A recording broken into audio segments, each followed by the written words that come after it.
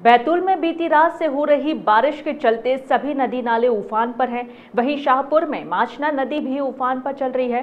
माचना नदी के उफान के कारण नागपुर भोपाल नेशनल हाईवे के पुल के ऊपर पानी बढ़ गया है, जिससे नेशनल हाईवे बंद हो गया है।